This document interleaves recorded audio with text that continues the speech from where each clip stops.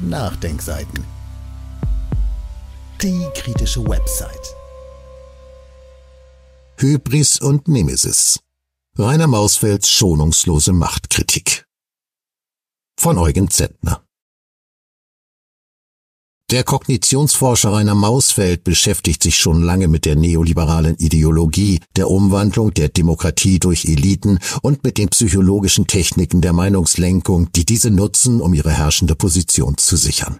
Seine Gedanken zu diesem Thema hat er in Büchern wie Warum schweigen Dilemma oder Angst und Macht ausgearbeitet, in mutigen Werken, die Machtkritik äußern und zum Kern des autoritären Geistes der Gegenwart vordringen. Auch seine jüngste Publikation schlägt in die gleiche Kerbe. In Hybris und Nemesis variiert Mausfeld seine Grundthesen, stellt sie aber in einen viel größeren Kontext. Entlang historischer Linien zeigt er auf, wie der Begriff der Demokratie seiner ursprünglichen Bedeutung beraubt worden ist und heute als Herrschaftsinstrument dient. Um seine These zu untermauern, geht Mausfeld in der Zivilisationsgeschichte 5000 Jahre zurück. Schon zu jenem Zeitpunkt haben die Menschen das erkannt, was heute zum Grundproblem liberaler Demokratien geworden ist. Macht und Reichtum streben danach, sich ungezügelt zu potenzieren. Es bedarf daher einer robusten Einhegung. Aus diesem Grund wurde schon recht früh ein Schutzinstrument entwickelt, die egalitäre Leitidee der Demokratie.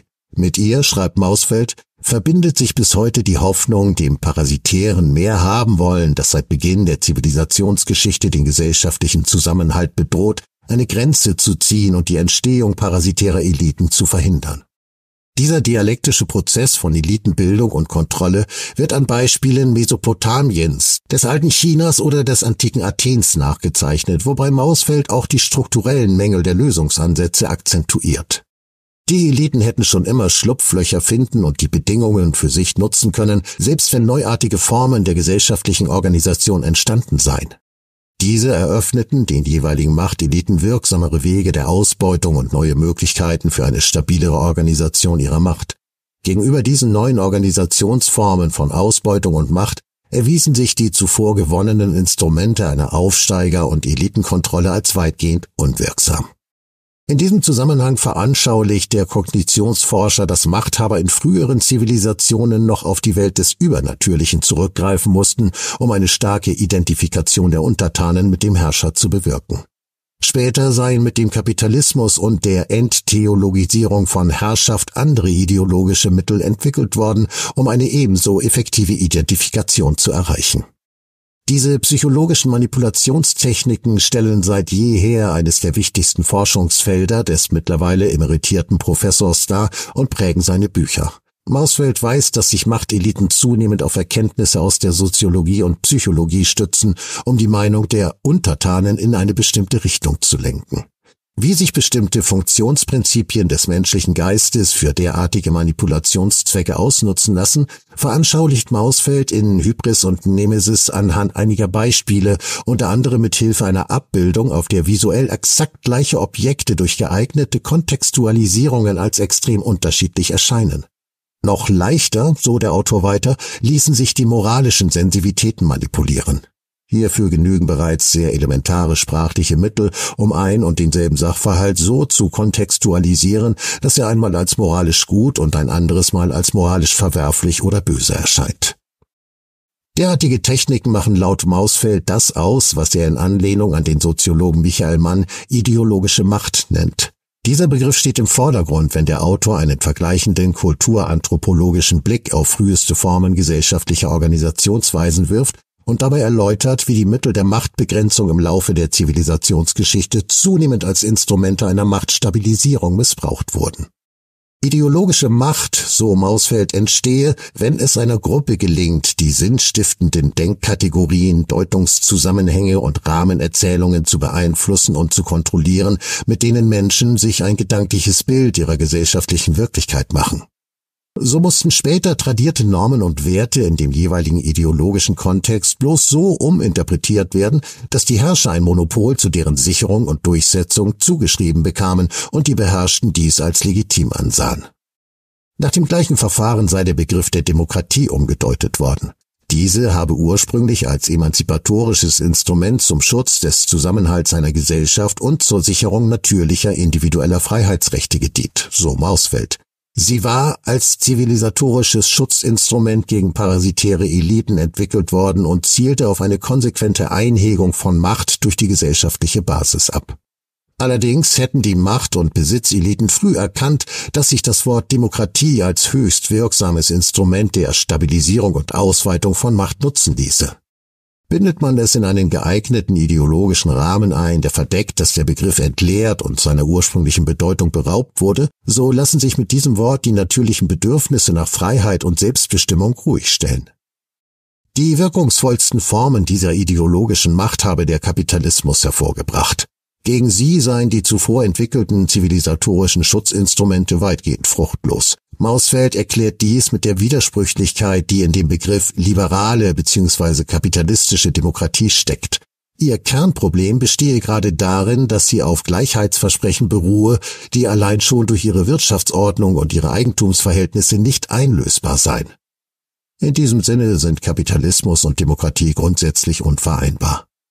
Mausfelds Analyse fußt größtenteils auf die Vorarbeit des US-amerikanischen Philosophen Sheldon Rowlin, dem er ein ganzes Kapitel widmet, um dessen Konzept des umgekehrten Totalitarismus in das eigene Gedankengebäude einzubetten.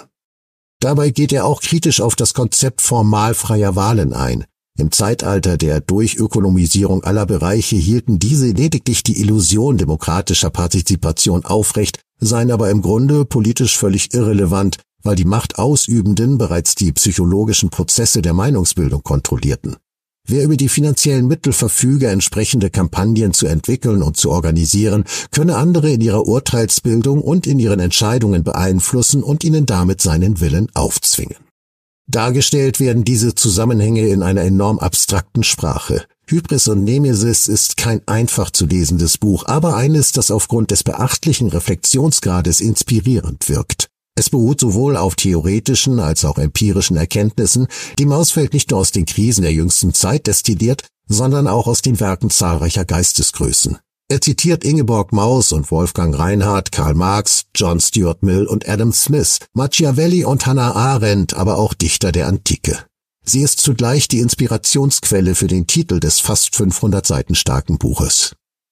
Mausfeld spielt damit auf die griechische Mythologie an und zieht Parallelen zur Wirklichkeit. Vor unendlich langer Zeit, in längst vergangenen Zeiten, beginnt sein Prolog, lebten Menschen in Eintracht und Zufriedenheit. Zwietracht, Vereinzelung oder gar ein Mehr haben wollen auf Kosten anderer war ihnen fremd. Als jedoch einige wenige anfingen, sich Vorteile auf Kosten der Gemeinschaft zu verschaffen, nahm die Geschichte ihren Lauf. Aidos und Nemesis, die göttlichen Verkörperungen von Scham und des gerechten Zorns, seien die letzten Gottheiten gewesen, die bei dem verderbten Menschengeschlecht blieben. Wenn auch sie die Menschen verlassen, schreibt Mausfeld weiter, bleibt nur noch das Recht des Stärkeren und menschliche Begierden nach Macht und Reichtum werden endgültig die menschliche Geschichte zerstören.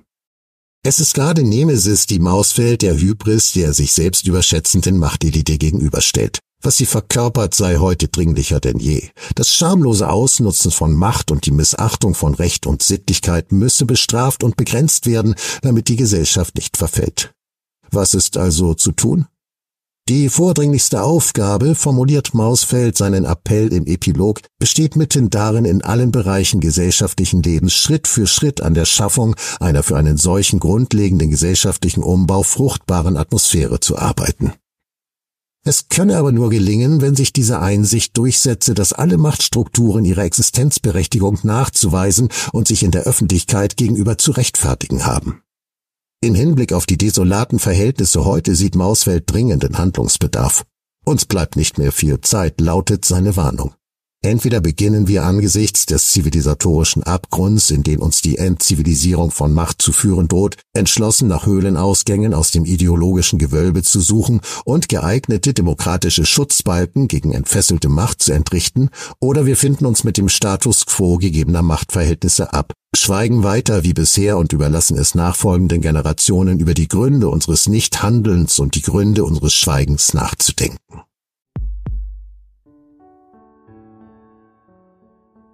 Dieses Audio konnte nur entstehen, weil zahlreiche Leser und Leserinnen die Nachdenkseiten fördern und durch Spenden unterstützen. Wenn Sie auch etwas tun wollen, klicken Sie einfach den entsprechenden Button auf unserer Website an.